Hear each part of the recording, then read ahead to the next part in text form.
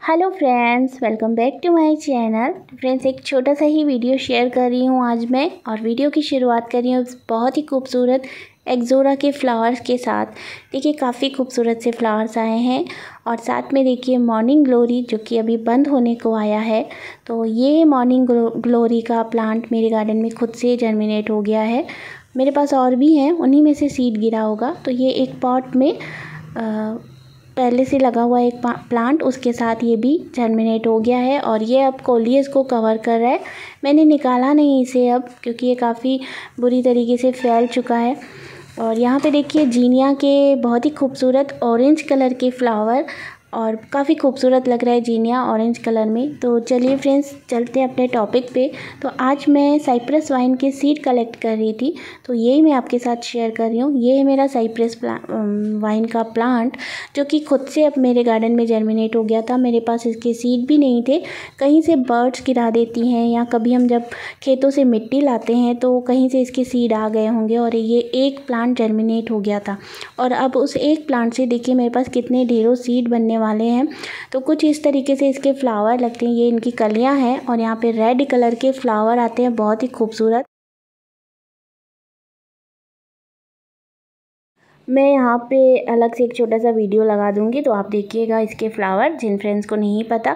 तो देखिए, कुछ ही दिन के बाद फिर उनमें इस तरह से अगर छोड़ देते हैं हम तो ये पाँच छः दिन के बाद इस तरह से ड्राई हो जाते हैं और ड्राई होने के बाद इसके सीड इस तरीके से बन जाते हैं। तो काफ़ी आसान है इनका कलेक्शन करना। काफ़ी आसानी से इसके सीड बन भी जाते हैं, हम इसे कलेक्ट भी कर सकते हैं और ये जर्मिनेट भी काफ़ी आसानी से हो जाते हैं। कुछ सीड यहाँ पे गिरे हुए हैं, देखिए प्लांट से ही झर के गिरे हैं। तो उनमें से ये कुछ प्लांट दो, ये देखिए, दो प्लांट जर्मिनेट भी हो गए हैं। तो काफ़ी आसानी से इसका जर्मिनेशन भी हो जाता है फ्रेंड्स तो ये बस यही छोटा सा वीडियो मुझे आपके साथ शेयर करना था कि किस तरीके से इसके सीड हम कलेक्ट कर सकते हैं और किस तरीके से इसका जर्मिनेशन होता है और काफ़ी खूबसूरत फ्लावर्स लगते हैं इसमें। तो ये इस तरीके से आप भी कलेक्ट कर सकते हैं। अगर आपके पास भी इसके प्लांट है तो नहीं है तो आप इसके सीड कहीं से ला के और जर्मिनेशन भी कर सकते हैं।